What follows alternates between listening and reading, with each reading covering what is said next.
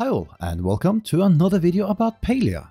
This guide is all about the weekly challenges for skills and how to complete them as efficiently as possible. You can find them listed under accomplishments once you hit level 10 in the respective skill. We'll talk you through what we do, share any tips and tricks we have. Oh, and if you have some tips, do share with us all in the comments. If you'd like to learn more about some of the unique housing items you can buy with skill medals, check out our showcase. Before we start, many of the challenges are quite straightforward, like collecting a certain number of basic resources and similar.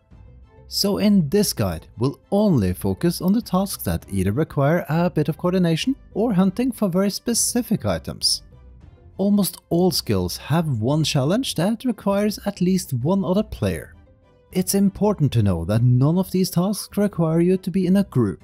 You simply need to hit the resource or target at least once together with someone else in order to get it to count. Let's start with bugs. One of the weekly bug hunting challenges is to catch 10 bugs of any type together with someone. Completing tasks together with a friend is of course the easiest. But alternatively, ask in chat or keep an eye on other bug catchers around you. Simply throw a smoke bomb on the same bug as the other player and you'll both get the catch. Your challenge will normally even update if your bomb narrowly misses the target. Do this for 10 bugs and you're done. By the way, all bug hunting challenges update regardless of you picking up the bug or not, it just needs to be caught. Another challenge is to catch 10 uncommon bugs. Uncommon bugs are those showing with a green background when looted. In Kilima, our favorite option for uncommon bugs is catching garden leafhoppers all over mirror fields. You can also find them around the farm. Other easy options are the garden millipede throughout the meadows as well as the garden mantis along the coast and around the lagoon. Should you favor Bahari Bay, we like to hunt green garden snails in the north, while also patrolling the river for inky dragonflies. And during evenings and nights, lunar fairy moths are an easy catch as well. Now, the more of the challenges you can combine and do at the same time, the faster you'll be done of course. For example, catching 10 uncommon bugs with another player would complete two challenges at once and give progress towards the Catch the 30 Bugs challenge as well. The next category is cooking. Cooking three meals together is a bit of an exception when it comes to cooperative challenges. This one requires you to either have someone visit your plot or visit someone else in order to cook together. While you can't cook together at a campfire, you can select one of the simpler dishes with easily available ingredients at one of the cooking workstations, like hearty vegetable soup and similar. If you haven't done a lot of gardening yet, you can also buy some vegetables from the store at Badruu's farm. And meat and mushrooms can be purchased at Zeki's general store. If you generally cook food for focus, then the two last challenges are essentially completing themselves. Though if you mainly use non-cooking produce as focus food, then we suggest turning to the campfire while sorting out some items and tasks on your plot. Simply cook some meat, fish or mushrooms as to tick the box on the 10 meals. Doing so will usually also get you at least 3 star quality versions. Now it's time to fish. The challenge that requires teamwork is catch fish together. And here's a little trick. Simply stand within 10 meters of anyone you see fishing. When they catch a fish, you will receive the buff Fishing with Friends. As long as this buff is active, all fish you catch will count towards the group activity. You can even go home and fish at your plot if you like, as long as it's active. While it won't feel a lot faster, a stack of these buffs technically reduces your hook time with 50%. In order to catch 10 star quality fish, you need to fish at hotspots, as only those give starred fish. Since they spawn randomly, you either do them over the week or do a quick hunt. In Kilima, a good route is to follow the river down south starting below Mirror Fields, all past the inn, then check for some spots along the coast towards the Fisherman's Lagoon. Having done these two challenges, you're likely already close to completing the last one. Let's talk foraging next. If you're actively playing each week, all the foraging challenges are easy. If you are not active and just want to tick the boxes, then focus on the magical trees and complete the other two while doing that one. The best way to find magical trees, or flow trees as they're called, is to head to Bahari Bay just before midnight in-game time. That's every full hour in real life. Exactly at 12 am in-game, a flow tree grove will spawn at a random location in the north or south of Bahari Bay. A flow tree grove is typically a group of 4 to 9 flow trees in a small area that entices many people to come and chop them together. Keep an eye on chat as the grove is typically called out by whoever finds it first. Head to the grove and make sure to hit each flow tree once to get the loot when they are chopped. This is the easiest way to complete the 5 magical trees challenge without wasting a lot of time. Yes, you can find random trees having spawned as flow trees, but chances are lower. If you want to learn more, we have a whole guide dedicated to this topic on our channel.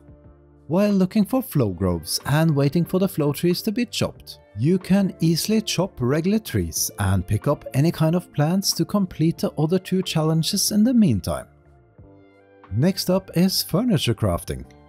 For the three challenges, we need one rare furniture, 3 uncommon and 5 common furniture pieces. What is different compared to some other tasks is that the one rare will also count as an uncommon, and a 3 uncommon, you guessed it, will count towards the regular. So in the end you only need to craft 2 additional common furniture pieces. However, and here comes the trick, there are some fairly easy to craft rare items and if you craft 5 of them, you are done with all 3 challenges at once. The in our opinion best item for this is the log cabin planter, as what it requires is fairly easy and cheap to gather. Back to our plot and farming. If you actively use your farming plots to supplement your income, as you should, the challenge for 10 star quality crops and the 30 regular crops will be done in no time at all. If you are not maintaining crop, well then you have to get something planted and watered at least a few times per week. Anything really, and some if not all should be star quality seeds. To get started with star quality crops, you can use other crops and fertilizers that provide you with quality boosts. Then use the resulting star quality crop with a seed collector as to maintain your operation for the future if you don't want to do regular farming for profit. The last farming challenge requires the use of 30 fertilizer, any type works. We don't fertilize any of our crops regularly, so we only do this once a week. If you don't have worm farms producing fertilizers, then you can buy them cheap at Zeki's general store. Now to a trick for saving on weekly fertilizer.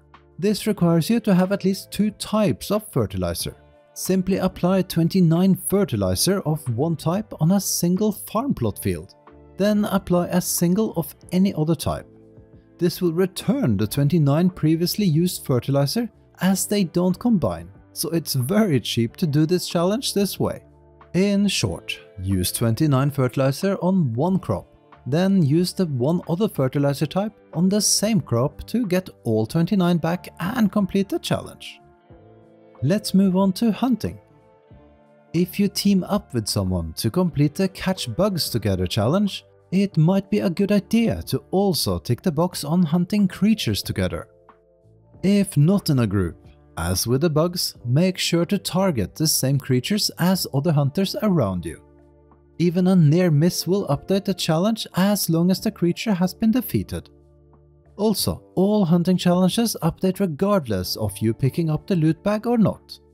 A word of warning, if you use better ammunition for regular Sernuks, Chapaas and Muujin, this will one-shot the creature.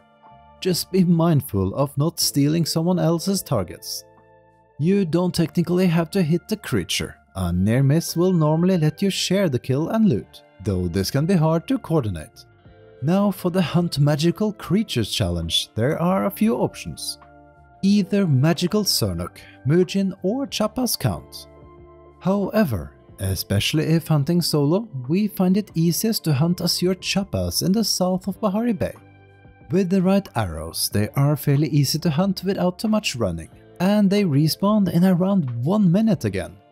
We shared all our favorite hunting techniques in our dedicated guide, which should make it easy for you to get the task done. Finally, the mining challenges. The one you should focus on first is loot precious metal. This requires you to find silver or gold ore, which are rare drops from copper and iron nodes respectively.